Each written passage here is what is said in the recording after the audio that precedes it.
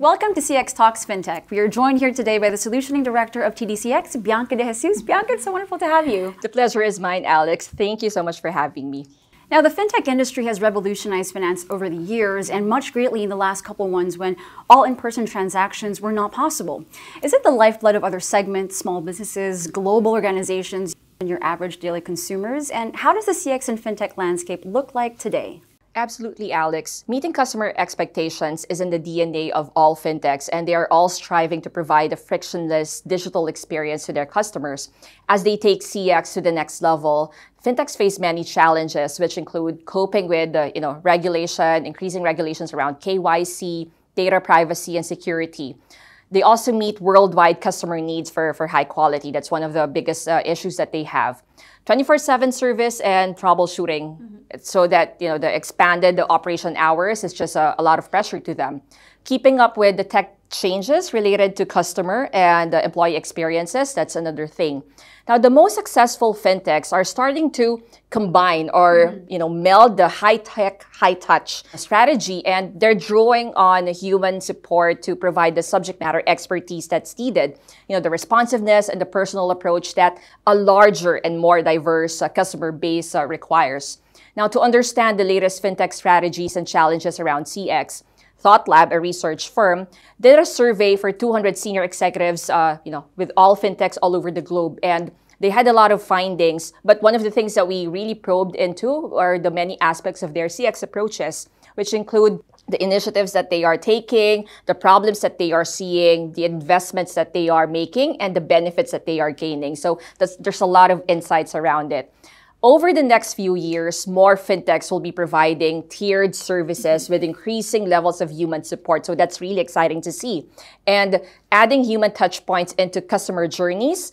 And it's also very important to note, Alex, that investing in outsourcing will grow tremendously. This is a comprehensive study that TDCX has actually led. And apart from the subsector, the customer mix and region supported, it is interesting to see how you looked into organizing or categorizing CX maturity level of the fintechs involved in the study, making a distinction between beginners and sure. uh, leaders. So, how are the fintech leaders and the fintech beginners handling the CX aspect mm. of the business? Are they facing the same challenges? That's a really interesting question, Alex, because what we found out from the study is that today's volatile economic climate is causing a growth surge for the fintechs. In tough times, CX leaders have the edge. And uh, customers tend to manage uh, their financial activities more closely.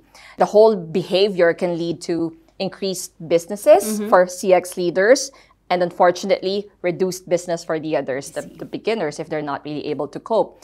Now, as they pursue their journey toward the CX leadership, fintechs face challenges around regulation. So this time we're talking about, you know, government uh, regulations, data privacy, KYC, and also around service provision, so the service that they deliver to, to customers, and uh, that all relates to customer service, which is very critical at this point, as we know.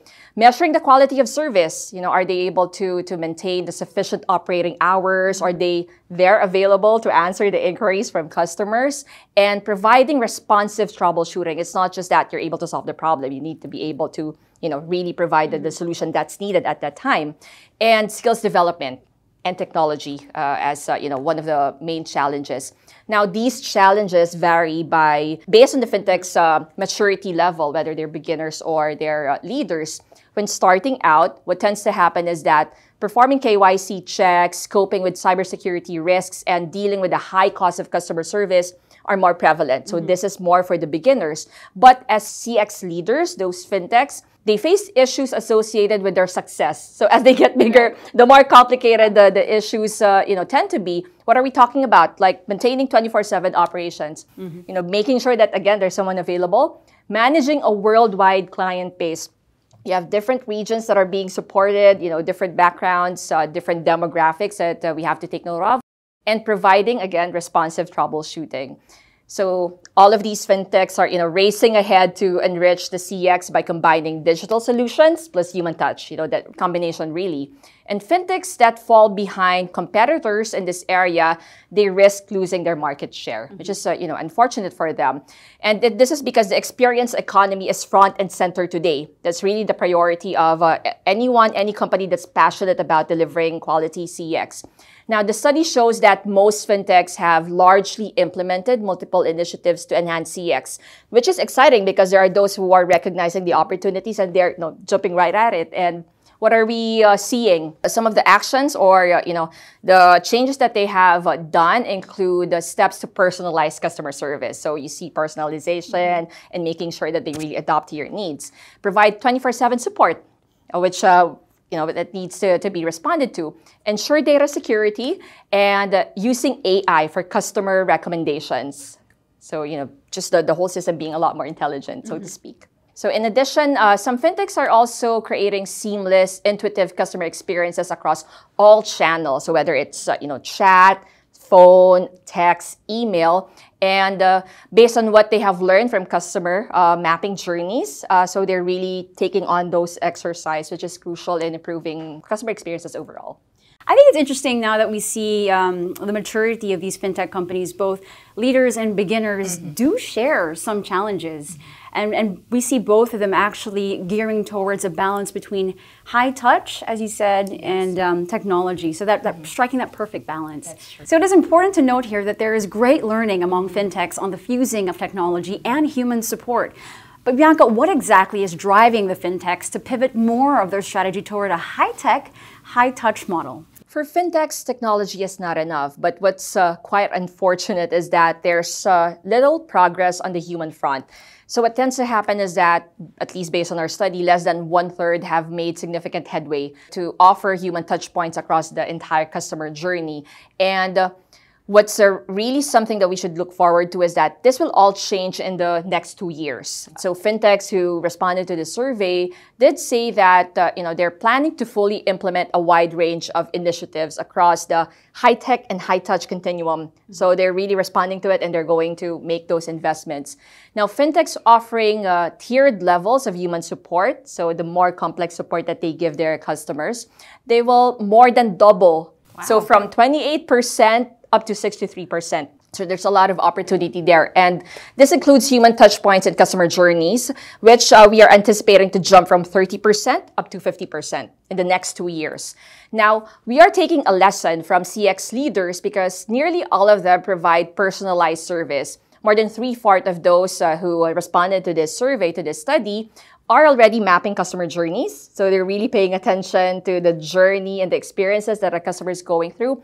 They create seamless cross-channel experiences. So when you reach out to, to your fintech company mm-hmm. on email or on a phone call, they're able to, you know, really look at those two channels together and take note of it for you.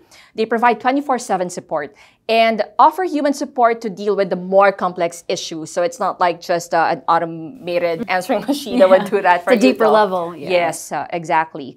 Now, TDCX has assisted with one of uh, its long-standing clients in building its 24/7 support system, and it's been a client that we've had for like uh, almost seven years now. They have a network of 200 partners that service 120 countries.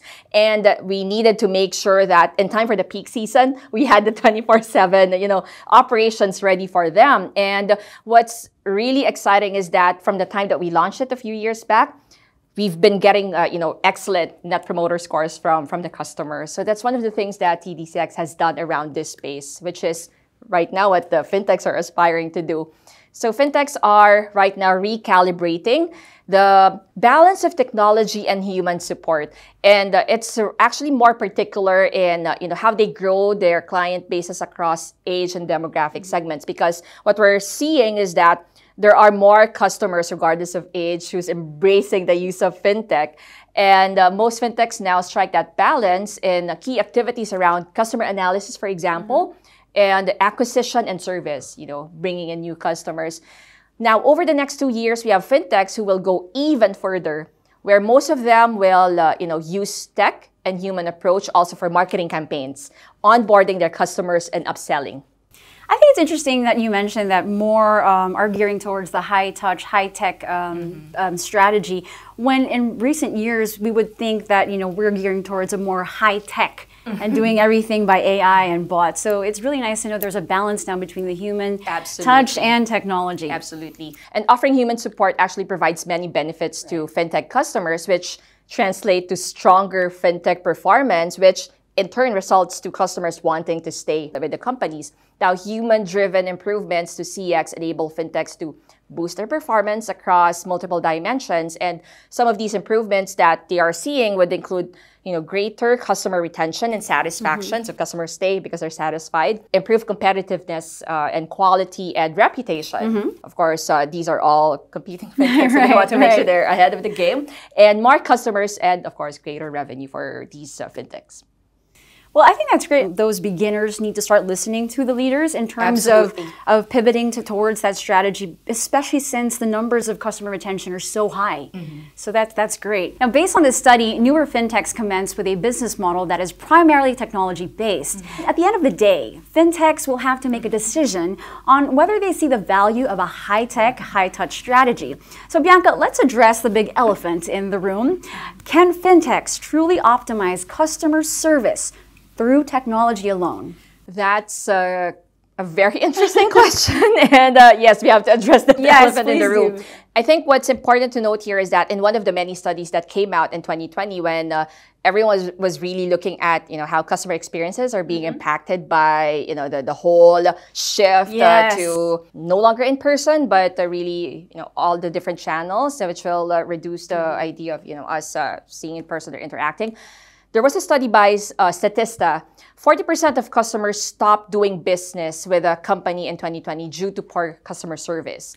And uh, despite the growing evidence, even with the pocket of fintechs who mm-hmm. responded to our survey, who said that they're uh, particularly early in the CX journey and they would rather use technology to service their customers, mm-hmm. they think that that's the way to go. But the, the reason that they have behind that is that some say that you know it's uh, much cheaper for them mm. to do so mm. that uh, customers would want uh, you know 24/7 support and they want digital services to do that for them, not necessarily humans. And the others say that human support does not offer any competitive advantage to mm. them.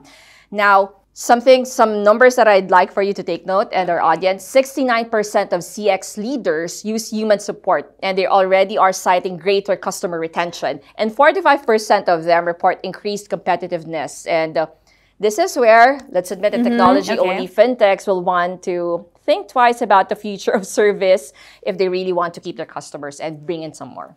That's great, Bianca. Thank you for sharing that. 69%, 45%, these are big numbers, yes. everyone. One interesting finding in the study is on how fintechs are transforming their business models to put customer experiences in the front seat.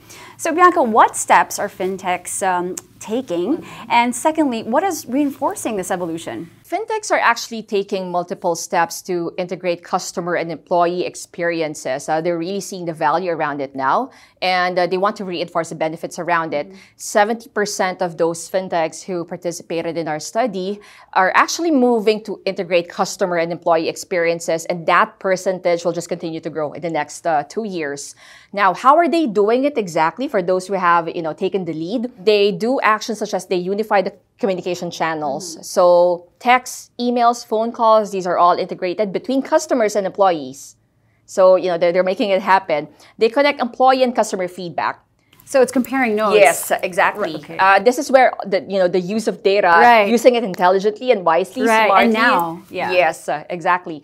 Providing employees with more CX autonomy. This is where you empower your mm-hmm. team to right. you know really allowed for them to solve for the problems. If uh, you know they're hired for that purpose anyway, that you did the upskilling for them, they should be able to have that autonomy to mm-hmm. you know help the customers and creating internal teams to integrate CX and EX. So this is where companies who have taken the lead are making investments and making sure that they have the right resources to oversee the you know customer mm-hmm. experiences and you know having the, the right departments and resources for it and uh, outsourcing some of the CX operations, uh, which uh, you know there's a lot of value around it. What aspects of the business are they outsourcing?